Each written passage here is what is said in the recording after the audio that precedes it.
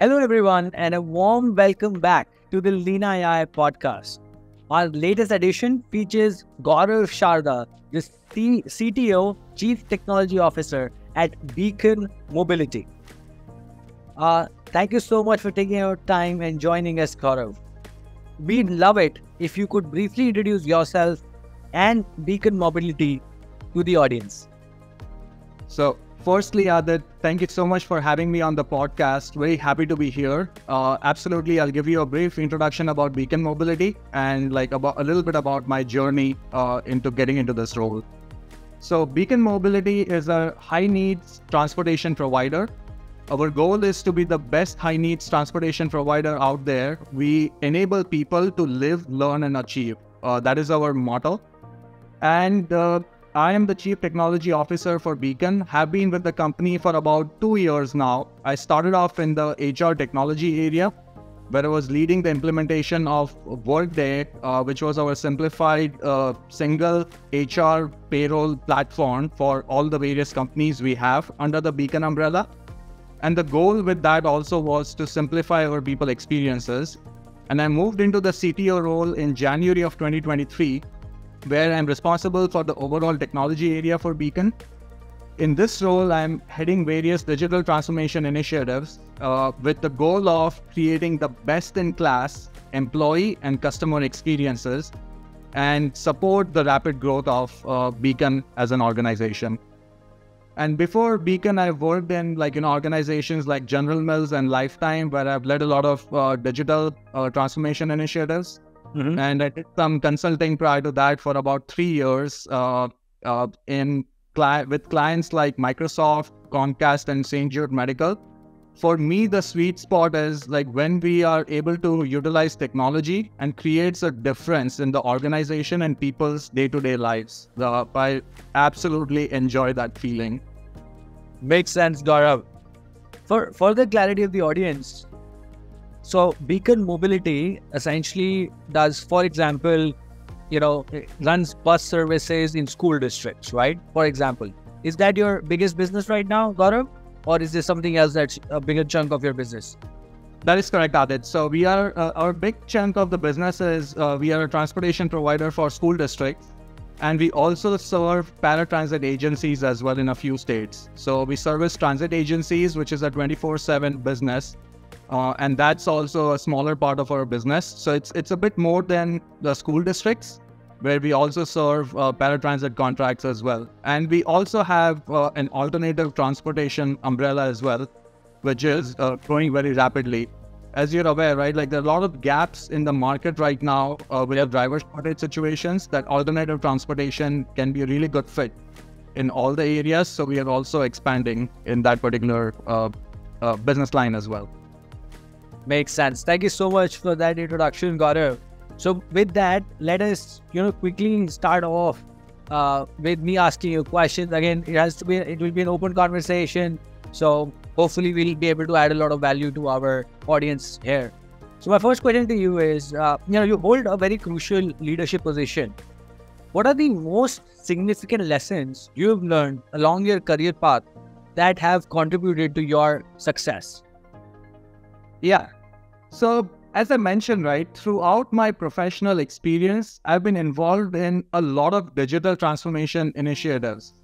Uh, and like, you know, those initiatives have, have been at various stages of organization's maturity. And with that journey, I've gained, I'll try to bucket it into two insights I've gained throughout that experience in the last decade or so.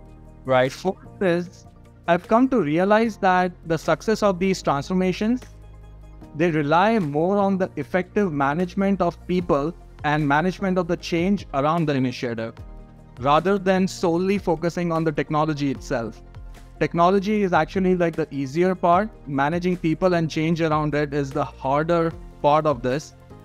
So it is very crucial to continuously emphasize the reasons behind why we are making these big changes from a transformation perspective and the benefits they are going to bring to the intended audiences throughout the entire transformation process. It, it is very crucial.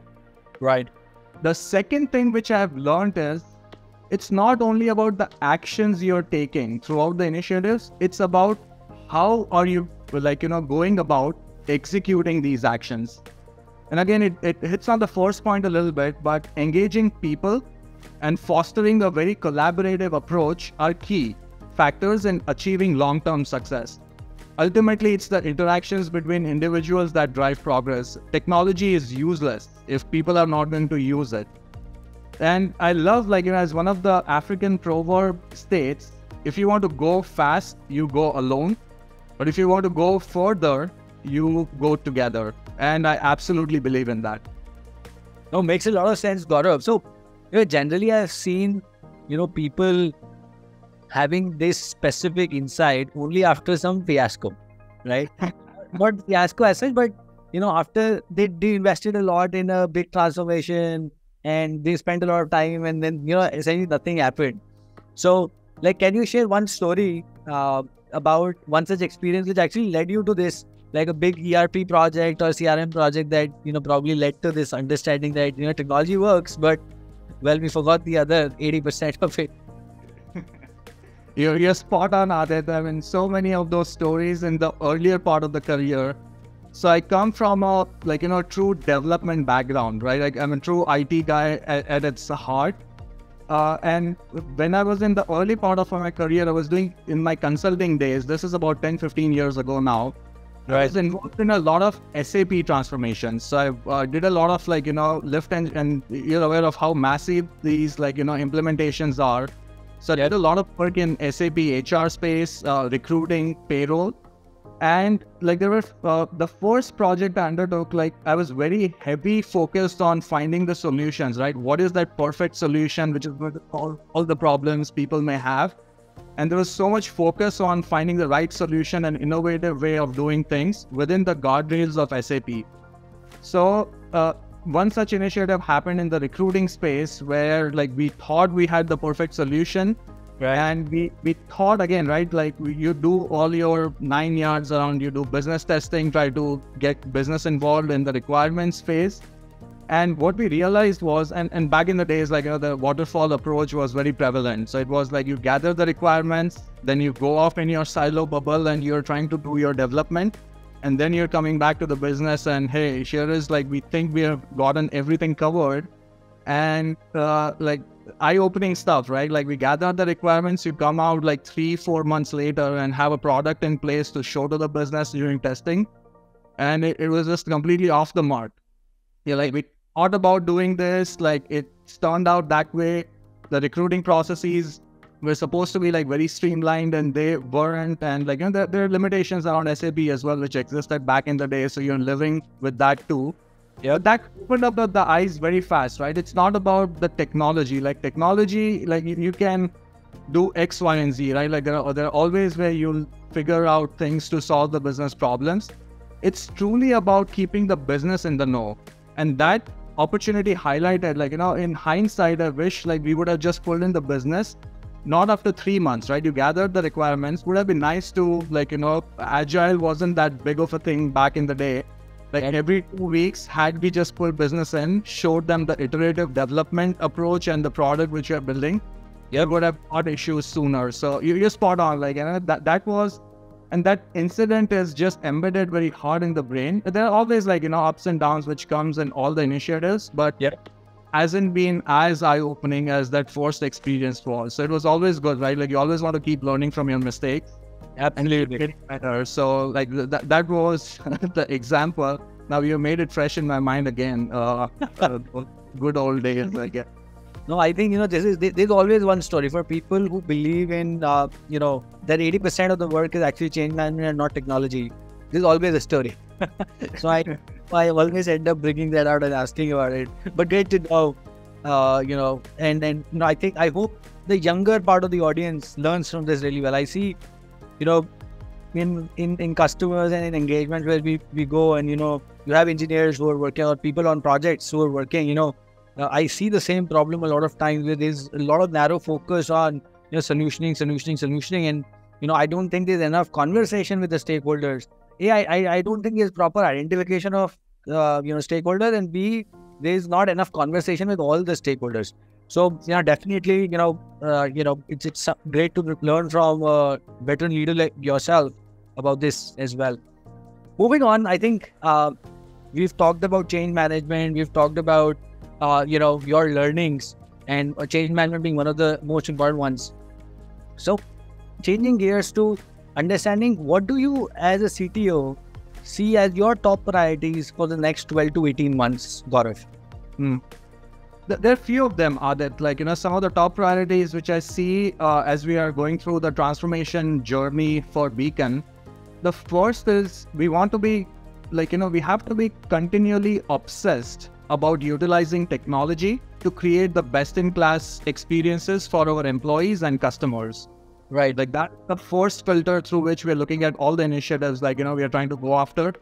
So that's the number one thing which uh, cascades across the entire uh, initiative set like you know which we look at. Got it?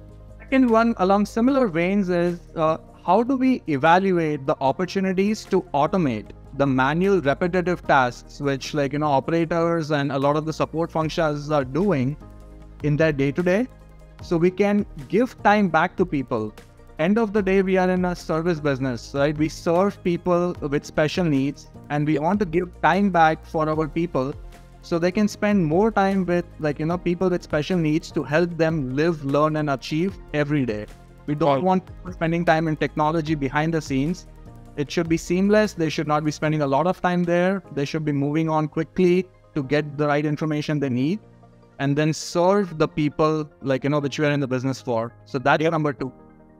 The last but not the least is just continue to be hyper focused on change management and bring all the people in our journey of utilizing the technologies around ai so ai has like you know i mean obviously folks may be aware that it has just created a lot of buzz. Ai has been around for a, quite a while now. It's just become more accessible nowadays and it's a matter of like you know how do we figure out the opportunities to utilize that?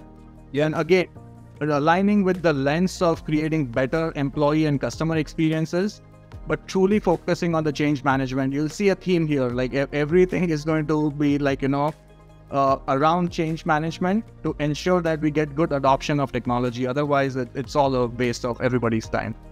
Lovely so two questions that come off of this uh, in my mind, Gaurav. So the first is we talked about you know obsession with customer and employee experience, right? In, in point number one.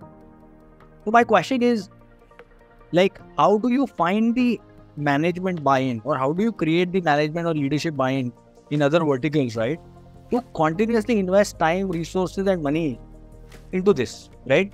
Because see, at the end, you are in the services business, right? So how do you go and tell the other leaders in other verticals that hey, you know, if you don't use technology, you know, you won't be able to go from here to here. You know, like like what's the business case that you create, or you know, how do you actually go about getting that buy-in? Because a lot of listeners, you know, are and you know we speak to them you know every day. We speak to a lot of prospects, customers every day, and they struggle with you know getting budgets, getting time allocations, more than the money, right? It's about focus, time, energy, effort, buy-in, all of that because at the end of day, as we've already talked about, change management is a bigger, you know, part of the entire solution or entire change management or transformation, right? So how do you create that buy-in with other business leaders, you know, who might be just, you know, very focused on getting their numbers done, getting their, uh, you know, targets and KPIs? Like, how do you do it? Yeah, I think that's a good question, right? And I think it starts with the alignment at the top. So, uh, like, you know, you have to make sure that, like, you can't, like, each functional leader uh, has like you know there, there are certain criterias or goals they're trying to meet but right. all starts at the top. So for us it's been uh, very clear right? Our ceo judith crawford has been very clear in terms of we want to create like you know best experiences for our people. Because as like again one of the saying says right? You take care of your employees they will take care of the customers and they will the customers like in turn takes care of the numbers yeah, it seem cliched, but it, there, there's like a lot of truth in that. Like, and we true believe, truly like you know, believe that particular concept. So there is a good alignment at the top to say that like what are what are the things we are going to go after, and we have our core values which are aligning with that. So whenever we think about like any initiative or all the things we are trying to do, we try to filter them with the value, like the core values we have created which right. ultimately is like you know leading up to the creating best in class people experiences and utilizing technology to give time back because that directly impacts the service we are providing to our customers uh, which are like you know people with special needs and uh, kids so it, it, all lines well again like it, it, may feel hard but you have to have a good honest conversation uh, at the executive leadership level even though there may be back and forth and uh, you just have to align on like you know who you are as an organization. And when you think about like different initiatives which are trying to come across right whether it's it or finance or hr or what have you like you're always aligned in terms of what are your core criteria or core values you're going to follow as an as an organization. So you have to align on that and if there's not clarity i would encourage like leaders to ask for that and it's easier said than done at times but like asking for that prevents a lot of heartburn like at the later stages and you're not always finding yourself in frustrating situations where hey i'm trying to do this and i'm not sure if there's alignment or not. Like if you have just a broader criteria which is aligned at the top in the very beginning then it just becomes easier for any of the initiatives you have a directional understanding of whether this is going to fly or not or not. Makes sense. And you know let's talk about a case. So let's say you went to one of there's a transformation project right? And there's let's say there's uh, like disagreement on the value it can add right? So let's say for a second i'm giving you a scenario where you are going to a leader. You think that there is a possible uh, you know roi large roi and they disagree with it right? So how would you tackle that situation? Is it going to be like a pilot a poc like what are you going to do to you know push it ahead? That, that's a good question adit. So first is like i mean try to gather as much data as possible right? Like if possible like you're trying to like any initiative stems with some sort of a need right? Whether it's hey there is a pain point which our operations is experiencing or some of our people are experiencing where hey this is crippling to the core business functions. Right. Or there's an uh, efficiency area where hey we have always done it this way and people don't know that there might be other options out there so right. how do you package a business case together to say that hey, we are seeing this as an opportunity area, whether it's like you know I mentioned about like you know saving time to give time back to our people so they can use that time with our customers, right? Uh, like like you know whether it's kids or people with special needs. So start putting like you know hey, whatever business case you can put around that because you have an inclination of what sort of problem you're trying to solve so as much data as you can gather, I encourage like, you know, people to try to gather that information because that, that is always helpful, an objective way to evaluate, right? Like it, it can save 30% of XYZ hours or, or whatever that may look like. And then you hit hit a hit on a point which is about the pilot or a proof of concept. Don't try to go too heavy, right? Like any initiative, if you are like, hey, this, try to put some data together to say this makes sense. You have your core values try to put that filters uh, on initiatives, which gives you a, a, initial check of, hey, this makes sense. Now, don't spend six months a year to find your perfect solution because there is no such thing. How can you do a proof of concept in a very lightweight environment and as quickly as possible and engage with your end users? Like yep. I, you know, for us, what we have done is we're creating an environment where it's okay to pull our end users in early and let them know that, that it's not going to be a perfect solution. What we're trying to do is we're trying to have you as a part of the journey to validate that, hey, we have heard these problems from you. We think this is the solution. Let's try out something in a matter of few weeks so we can get something out in front of them. Because if something does not work, it's better to know that sooner than six months later where you have spent a lot of time and energy and it's like, you know, waste of everybody's time uh, along the way. So like we have been trying to get nimble. And again, it's easier said than done at times. It's like how do you choose the partners? What sort of technologies you can use to do proof of concepts? Right. Like it's a very critical thing. So how do you validate whether something is going to work or not in a proof of concept capacity? And mm-hmm. with, uh, with, in this day and age, like there are a lot of technologies out there which you can utilize to have like you know lightweight, like even create a simple UI of what it's going to look like without a full blown solution, like you know, being ready and things like that. So how do you, uh, like you know, uh, continuously evaluate your innovative techniques to try to get some sort of a proof of concept faster to the audience to validate a particular use case is what I would recommend. So two things, right? Align at the top. Uh, filter through the core values lens. Uh, try to gather as much data as you can because you're trying to solve some sort of a problem. Uh, otherwise, you would not bring that initiative up. And the second is like how, try, again, try to pull the people who you are going to try to solve the problem for in the journey earlier. Yep. Do a proof of concept, get some sort of a validation, then do a pilot capacity, and then do a full, like, you know, a region wise rollout or some sort of a staggered rollout approach versus again waiting for a year to build a perfect solution and have a rollout plan where you'll do all at once. Try to do it in piecemeals and have iterative value delivery is what i would recommend. Lovely lovely Gaurav. so you know value alignment at the top uh, then business case. I think numbers are, are a rough business case as you mentioned right? Then pull in your users early and do a poc or a pilot with them and end it your phased rollout. So absolutely three main Uh, points divided into five sub points. I think this is super, super helpful, Gaurav.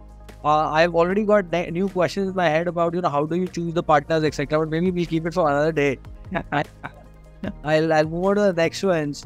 Uh, so you mentioned you know best in class employee experience. You know as one of the things that is your top priority for the next twelve to eighteen months, right? So in that specific, let's kind of zoom in there how do you think you know digital transformation has disrupted the world of IT service delivery, and and what needs to change uh, moving forward? That's a yeah, that's a good question, and it's the world is evolving so rapidly, right? So much has changed in the world of IT service delivery. So some of the things like you know which come to mind are first is like you know it. I think the complexity has increased quite a bit. When you think about like you know the businesses now, like you know you have all sorts of solutions available out in the market. Whether it's the cloud solutions, you think about the IoT devices which are out there things are getting like you know a little bit intricate i would say Yep. and now it's about like you know how do you make sure that your it service delivery teams are upskilled to manage these new hybrid systems which can span across like you know both the traditional and the cloud environments so just continuing to upskill and being aware of what's out there uh, in this complex environment and trying to find your right fit. Uh, Right. i think that, that's the number one thing which comes to mind. And and when you think about like i touched a little bit on like you know how do you do proof of concepts and have like that faster uh, delivery to validate concepts? I think it lines up with what the expectations from an it organization in this day and age is right uh, speed the demand for faster delivery is skyrocketing. Like your business partners are expecting things to be delivered faster. And with like you know with some of the new technologies out there it's it's very much doable. Uh, things have changed a lot like 15 years ago when it used to take a year to implement small things now it can be done in a matter of weeks. Yep. so we are in this race of like you know uh, finding the finish line faster. So rapid and efficient service delivery is a key and with that like you know how do you uh, get there as an it organization? So having some governance around like you know i think some of the key practices which we are trying to enable are how do you work in an agile environment? So you can have iterative delivery for your business and validate like whether what you're building makes sense or not. And then the devops practices right? Like how do you kind of make sure like your pipelines are automated and you're not spending a lot of energy in terms of pushing things around and like you know in a safe and secure environment as well. So that's the second thing and the businesses are changing fast. So uh, aligning with that also makes sense. You, your it delivery has to keep up with that. Otherwise a solution today is not going to be applicable six months from now because the needs will keep on changing. So that's the second thing. The third is like uh, it, it's it's a must have like it's not one of the most fun items but like with all this digital boom uh, there's always that uh, lingering thought around the cybersecurity concerns. It's Right. become so available so open people are expecting things like you know even businesses are trying out a lot of new tools themselves. Like with more digital touch points now available there is a broader risk. Like you know you're opening up like you know a risk for potential attacks uh, like through these different channels so how do you make sure that like you know you always are staying on top of cybersecurity it's like we don't want to be reactive we always want to be proactive all monitoring tools and uh, the full nine yards there we have to make sure that we are always on top of our game there uh, because you don't want to be caught napping in that particular area And last but not the least, uh, there, there is like one clear winner. It's always the user. Like Yep. everything what we are doing, user experience has to take the center stage. The goal is not just about like you know delivering functionality anymore, but it's about delivering a seamless, enjoyable experience, which now has become like table stakes. I think in this day and age, people expect it. Uh, so how do you just make sure like you're keeping your user at the center of everything you're doing is very critical. So these are some of the things which come to mind. And it, it, it's the world has changed a lot in the 15 years I've been in this space. Uh, that's for sure. Absolutely, Gaurav. So, just taking from what you said, so what are some of the biggest challenges that you have faced in managing IT service delivery for a large enterprise like Beacon Mobility? And how did you overcome them? Like, the largest challenges, and how are you overcoming them on a day to day basis at uh, Beacon? Yeah, good, good question, Adit. So for us at Beacon, we have been going through a digital transformation over these last few years. I've been with the company for about a couple of years, and I've seen a massive, uh, like you know, change transformation, digital transformation happening in the last two years I've been here. Uh, so one of the biggest changes have been around right eliminating these manual uh, paper and pen processes. We're implementing all these foundational technologies, which takes a step forward in terms of uh, creating more streamlined processes uh, for whether it's your HR area, your finance areas, your operations areas, your critical routing, scheduling functions, name it. So there is a big transformation which is happening from manual paper pen processes to foundational technologies getting implemented Right. and continuing to be again fo- focused and very obsessed about like you know delivering the best employee and customer experience like that's been a big focus for us as an organization. So even with this right when you think about like pen and paper to a foundational system it, it feels on like surface right? It's a it's a step in the right direction. Right. you know why you're doing it. It's going to create better experiences. But end of the day a change is a change. Right. it, like you know people get used to doing things a certain way and when you ask them to do things in a different way Yep. it's uncomfortable. Doesn't matter how good of a change it is how, what benefits it's going to bring to the people on the other side eventually it, it's still hard. So we've been very focused on like you know the change management as well for our people and being very mindful of that. So what we have done is uh, we've been very diligent on bringing our frontline employees our operations leaders into the transformation journey with us, not at the very end, but from the very beginning. Mhm. We are not building and implementing these technologies in a silo, in a science lab, but it's like, you know, we're very front and center with our frontline audience, ops leaders to ensure that they are set up for success to use these new technologies. And we're not afraid of failures, right? Like we there is no perfect state and our audiences don't expect perfection as well. So we have build that sort of trust with our people where they are part of the journey and they know that it's always going to be with that continuous improvement mindset. And the results of this have been like very promising. Uh, so what i'll sum it up with is the key is to never take change management aspect for granted and ensure that all the people who are going to use the technology on the other side they are part of the entire journey with this with us. Don't be shy of like not seeing a perfect state because there is no such thing Amazing, amazing, Gaurav. So, you know, I've decided now that, uh, you know, everyone who comes to talk to Leena, eh, you know, I have to school them about change management. I'm going to show them this video about yeah Talking about change management. I think, But yeah, it's like learnings there so many learnings along the way. And uh, again, as I mentioned, right, like I, I'm a true technology person, that person at my heart. It took, it- it's not easy, right? Like to change that mindset, it takes like Absolutely. effort, right? It takes conscious effort, it takes practice, it it takes you to raise your hand and say, hey, I need help. Like, how can we gather all the leaders together? You're not going to solve it yourself. So it's been like just constant evolution. And I see like, you know, who I was 15 years ago and who I am today and like the way I operated back then and the way I operate now, it's night and day. But you just like continue to improve with each experience. There's always opportunity areas and how do you just continually improve is the name of the game at least. Like, you know, we are playing, I've been playing and and I think you with engineers, you know, it becomes even tougher because I think we're wired that way. Give me a problem, I'll solve it, you know. He's taking whatever, you know, other exams uh, globally, you know, it's weird. She's kind of wired to solve problems, right? Exactly. Oh my God. Uh, speaking, speaking my heart and my mind here. Yep. I totally agree with that. And it's like it takes a little bit of conditioning, but you know, you you live and you learn, and you know, you keep adapting. Interestingly, it happens with even today. Like out of ten times, I'll still do it once or twice.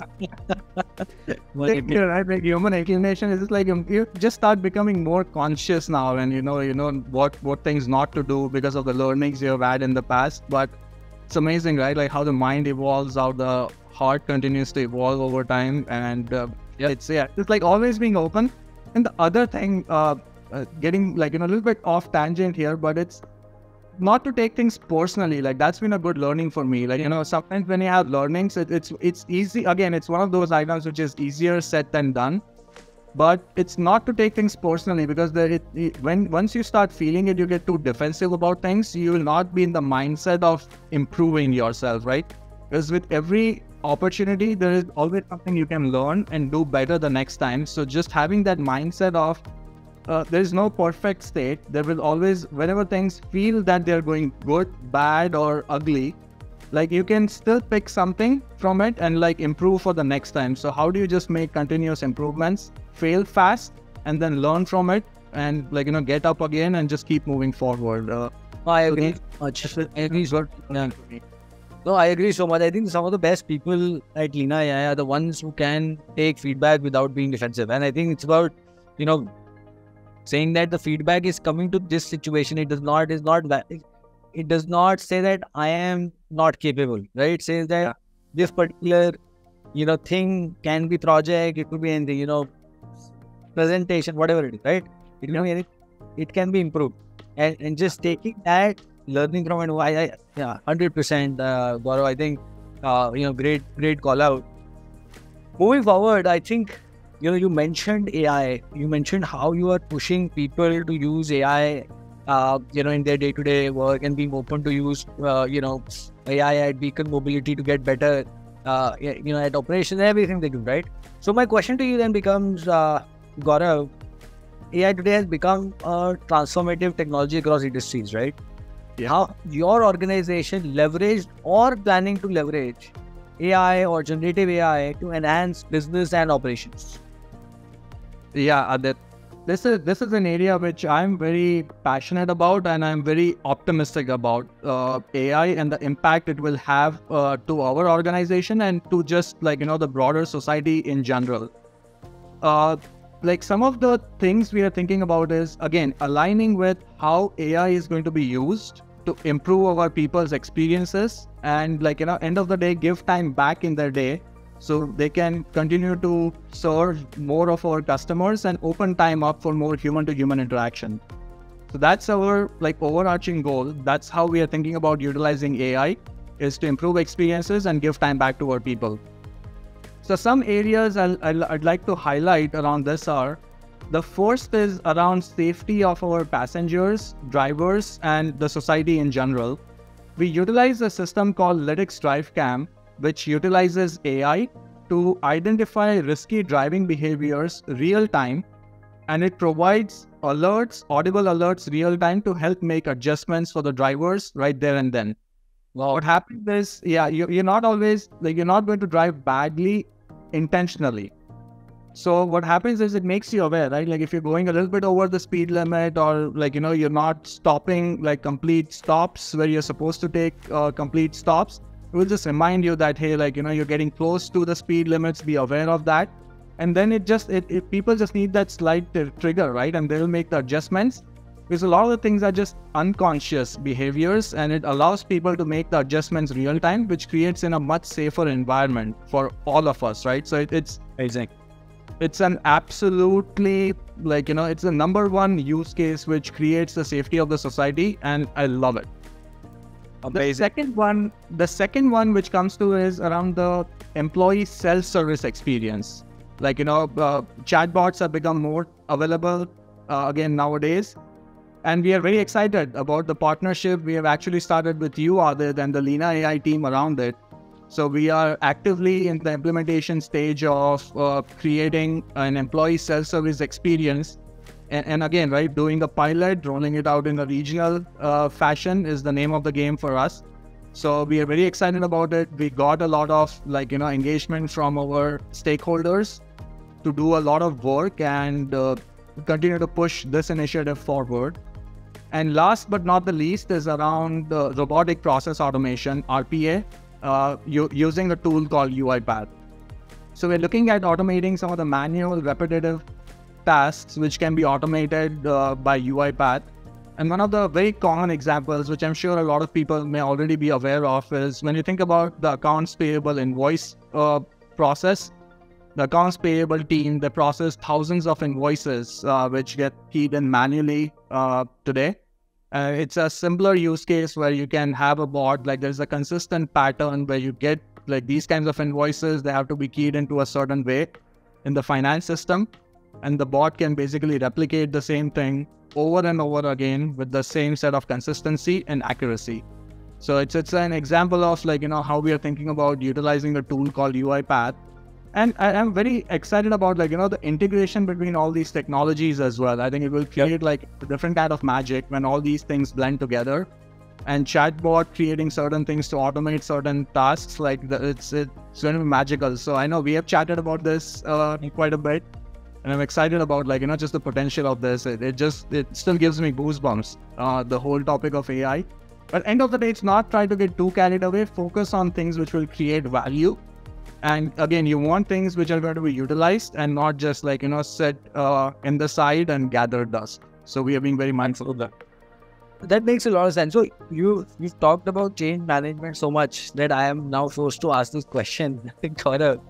So you know we've been on this journey of doing uh, uh, you know virtual assistant for employees uh, with you know Beacon Mobility with you, Gaurav, and you know I I know you know you got the pilot done, you know, and all, all of that, but can you you know detail it out for the audience, right? How did you run the change management process that we've been talking about for the last you know 30 minutes? and how did you actually implement it in the project of that virtual assistant for employees that we're doing together? Absolutely aditya. So uh, i'm trying to recall right? Like we started this journey about six nine months ago now. And uh, we started again like you know try to pull the frontline audience in in the beginning part of the journey so when we uh, like you know initially talked to you, we were excited about like you know hey, there's so much potential. It can help answer like you know X Y Z questions for people. We get so many tickets coming in today around all these different areas around HR or like fleet or operations or you name it.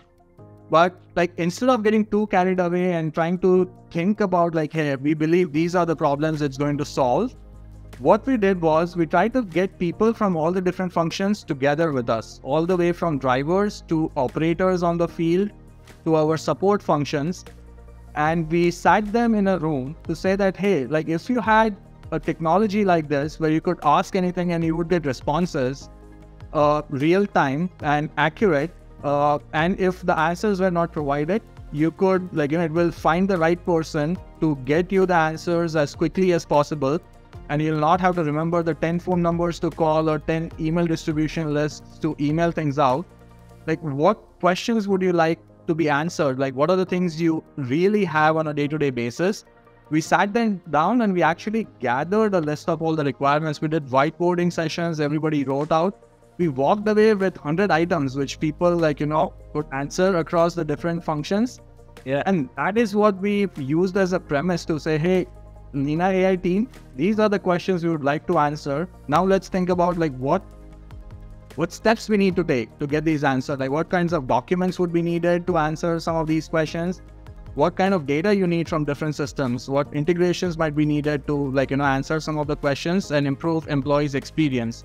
So I think like that's the key difference is like you in generally have a sense, right? Like I, I not say you're, you're clueless completely. Well, you you understand, right? Your business, you understand what the needs of the people might be, but pulling them in early in the journey does two things. First is like you know, just like there are no assumptions. You you you hear questions which you could never even imagine, and like it shatters all the assumptions you have around what questions people may have, and you truly get all the questions people really have in the day to day and the second is you bring them in on the journey with you from the very moment. So that change management has already started there because you've said that, hey, let me hear, truly listen to what like you know problems you have and let's work on it together to get to a solution together so it's not like a tool which is going to get forced on them it's a tool which they have requested they have said what my needs are and now you let me know how you can solve it what help you need from us so you gather a lot of excitement during that initial part when you bring people in on the journey sooner so like that's one like you know that's been a big uh, big impact item for from a positive perspective for us uh, through this initiative. And now we're getting to a stage where like you know we are getting very close to doing uh, a user acceptance testing. So we already have the group right now. We're not scrambling the last minute to say hey, who are our UAT people. Yeah, We already have that. We had them engaged from the initial part. Yeah, They're killing like you know two birds with one stone. You get people involved early, and now you're not scrambling in the later parts of the initiative to find your business testers, to find who wants to go first to do a pilot. You already have that figured out from the get-go, and the change management is not a one small milestone in the project which you're doing at the end. It's just continuous uh, from the very beginning. So I think like that's what really well for us uh, is uh, what I would say, Adit. I can completely relate. I think the best implementations that have been done, you know, of course, we have had a great experience uh, with you guys at Beacon Mobility and then, then many others as well. I think in the best ones, the users think that they are the ones who have created the tool. They've actually had create the tool, right? Spot on, spot on, Adit. And, and and at that time, you know, they're not, you know, picky and choosy. Oh, this is not working. Or you know, out of the hundred, it is only answering 90, 80, whatever it is, right? Or Yeah. you know, when I say you know this specific thing, it is not like they're they're very accommodative because they feel like it's, it's Ah. a journey, right? So yeah, no, I, I agree, and I can relate to that with our you know with our journey together. And uh, no, I think well, great learning for the audience here, Gaurav. Thank you so much for sharing this. Absolutely, absolutely. But Asha, it, does not become a us versus them thing, right? Just to add on to what you're saying, it's not a us versus them thing. It's like we are in it together. Will, will it's not going to be perfect. You get that extra grace and patience from the people on the other side because they know that, like, you know, the intentions are very pure, and you're working with them. They know what's coming, what to expect, and you're setting that. It's a game of setting expectations as well, right? Like they know it's not going to be perfect. Like they're going to help us make this uh, perfect uh, situation like you know as we keep moving forward. So it i love it like and i just like simple things like that it's not very hard to do. You just have to be very mindful about that right? And not be shy about like you know pulling more people in. We typically are shy like we want to get that perfect state before we show to the business like that that used to be my mindset as well a long time but no such thing. You pull people in early like you you bring them in on the journey and Yep. just flows really well. It just like flows well is how I've seen. Uh, I, I love this. Absolutely makes sense. So, you know, just moving off of this, like just a continuation to this question. So, in terms of these, you know, experiments that you do, or in terms of like the enterprise employee virtual assistant that we're building together, like, or or any such idea, right? How do Yep. you prioritize investments in in these areas? Like, because see, some of these might be, and for the listeners on this podcast, you know, some of these areas, generative AI, AI looks amazing to talk about. It's the buzz today, right? But Yeah. you know, it might get tough to you know convince other people. And we've talked a little bit about this earlier as well. But let's say you have ten projects, you know, or, or you know, as a CTO or as an IT leader, even as a you know, operations leader or even as a CEO, you might get like ten projects or ten ideas on the ground, right? So hey, how do you evaluate and or prioritize them? You know, in in terms of okay, out of these ten, I want to pick up these three for a pilot. You mentioned the framework on how to get to a, you know, Yeah. if you've decided one, how do you go about it, right? But Yeah. out ten, well, how would you prioritize and like how would you find the budgets, etc. How would you do that? Yeah. Yeah. So Adit, uh, I think we touched a little bit on that. Uh, it may sound like a broken record, but like the first thing which goes around this is like we have an alignment from an executive leadership perspective, right? Yep. Both is very simple. Like we want to create the best in class employee and customer experience utilizing technology. So like that, that's the framework, like the high level framework we have. So anything we are going to do, is it going to create a better experience for our employees or customers? If the answer is yes, then we move on to the next things. And then the next things come into play, right? Like, hey, uh, of all the use cases, what is the complexity of execution on these use cases, right? Like if something is going to take it's it's a massive lift, it's going to Right. take a lot of time to build something or like you know roll something out. And if there are like other ones which are like quick wins, then we we uh, like you know we look at that as a criteria. So complexity of the different use cases and what it would take to execute on these things and how big of a change management effort it's going to be around these things. So we factor that in as well. And then you have like, you know, after the experiences, you have your criteria of like how much time it's going to give back to our people. So that's the other thing we look at. If there's an initiative which is like, you know, it's a quick win and it gives like, you know, decent amount of time back to our people quickly, which means that the the the more time we free up for our people and the faster we can do it, it means that they can spend that time in more human to human interactions with our other employees out in the front lines or the customers. So that, these are some of the criterias we look at when we are looking at like you know evaluation and implementing uh, some of these ideas. Correct. Now, one question that's just coming off, and I think you mentioned this, you know, about choosing partners, etc. Before, and I know I, I'm not going to get it into it today, but build versus buy. I think build versus partner, like that's a big decision in a CIO's mind, right, or any leader's mind, right? So in AI, there's so many vendors, and you know, of course, the because of the API availability of you know OpenAI and you know 15 other uh, Applaud and then open source models, you know, Vicuna, GPTJ, whatever it is, right? It has become like a lot of people are saying I want to build, right? Uh, a lot of people are saying that you know I want to partner. So how do you decide that? You know, is that use case to use case? Is it, you know, like okay, no, we want to build only, or is it no, we want to buy only? Like how do you decide that? Yeah. So for us at uh, Adit, I think in general it's like use case by use case. But when you think about the industry in general, right? It, it it's not a technology organization. And like we are in the transportation business, we want to help people live, learn, and achieve every day to their full potential. Right? That, that's what we are in the business of. We are not in the business of building software. So like that, that's like the 30,000 foot view answer. So if there are providers out there, right, like which already have the capabilities, uh, it's the price point is palatable, and you can get value to our internal employees and customers faster. Uh, we typically would lean towards that, right? We're spending a lot of time to build something and maintain it and have resources around it to do that. But there could be some cases where, like, you know, that makes sense. So it's not uh, always uh, a vanilla answer, but like that, that is kind of the mindset or the approach we have when we think about, like, you know, what makes sense, whether it's a partner or whether you're building something. When you look at a partner, like, you know, there's several things we look at a partnership as well. Partner, in the true definition, we are looking for that partnership, is what we're looking for, to be completely honest. So, uh, you're well aware of that. Like, we started this journey a long time ago. And it, it started with just education, right? Like even before the chat GPT were like boom, like we started the conversations with some communication opportunity Yep. and then kept building upon that. So it's it's all about like, you know, that these kinds of things which are very important because it's not a one and done thing. It's like these are the partnerships you want to build and form for years to come. Yeah. No, I, I completely concur. So what I'm seeing in the industry, talking to you know technology leaders and IT leaders is, you know, essentially that if there is something that is core to your business, right? So like something that you think could be IP or could be like a significant differentiation in terms of how you like decrease operating model costs, right? Like re- real impact on operating model, like figure out uh, you know, some I don't know, some AI way of doing route optimization. I'm just making things up, right? Yeah. Like that. That could like give you a competitive advantage in your core business.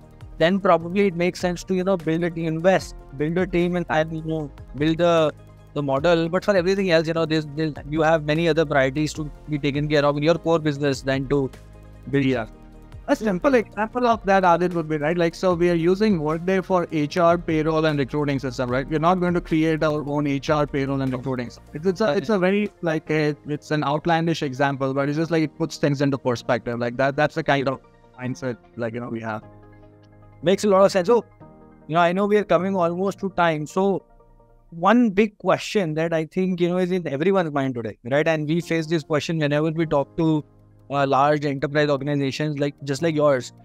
It is, you know, AI means a lot of data for trading, right? AI means a lot of, and you know, especially like virtual assistants, like we've been talking about, right? Enterprise employee virtual assistant means access to ERP, CRM, HRIS, ITS, and multiple systems. So the employee can do things on the mobile, right, or on chat, whatever, right? Absolutely. So, you know, with that, I'd love to come to the last part of my questions for you, Gaurav. With AI advancements, there are growing concerns about cyber security risks. How do you ensure responsible AI implementation and address potential security vulnerabilities? Yeah, that's a good question, Adit. Right, and like it's in it's on everybody's mind. Like that was on my mind when the whole AI piece came out, and like it became more accessible. I mean, AI has been around for a very long time now, but yet it became more accessible, and it's like always it's like the biggest fear any IT leader has is right. You don't want to be caught napping. Like everything else is like explanation if a business application does not work or things don't go well in projects. You can there's there is always like you know a reason behind it but if there's a cybersecurity breach which happens, like there, there's nowhere to hide from a leadership perspective. Like that, it's always top of mind uh, for me and for the organization. So there are a few things uh, we are doing here, Adit, which I think will answer or touch on, like you know, the three questions you have mentioned. The first is we have to understand the risk. Like don't just like you know put like you know hype about the risk. Like be understand what your risk is. Be aware of what kind of data is needed around your various AI use cases, right? Because it's going to vary depending on what problem you're trying to solve. It's not going to be a one size fit all. And you apply the same level of security around whether it's like read access or write access, uh, which you have traditionally applied to your different applications.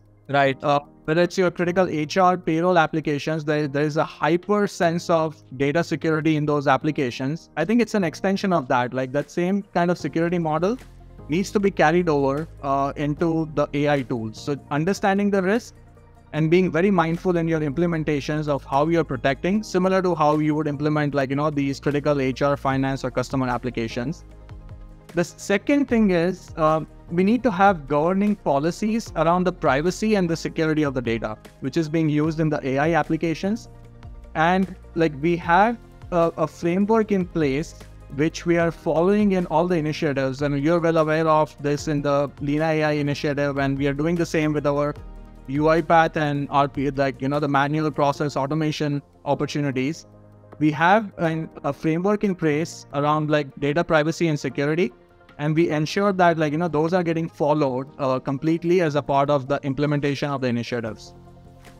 Then it's like after it's implemented, you've you've done all the right things. Right to ensure that it continues to stay that way. So that when enhancements are going to happen on the systems, it's about continuous monitoring of these AI systems and regular audits to ensure that security and privacy is continuously preserved. And then last but not the least, I think like this touches on the uh, third question you mentioned is about how to remove undue fear. It's about continuous education for our stakeholders. I believe it's very important. Like share the best practices around data privacy and security make sure your broader audience is aware, right? Like what your guiding principles are, how are you thinking about it? It's always top of mind. It's very important because I don't think it's the responsibility of just one specific IT function. It's a responsibility of the entire organization to be in it together. And it starts with the education and a continuous education journey on that. So, like, these are some of the things which come to mind and what we are doing uh, around this area. Lovely, Gaurav. I think this has been amazing. Uh, thank you so much for taking your time and doing this for us and with us today. Um, yeah.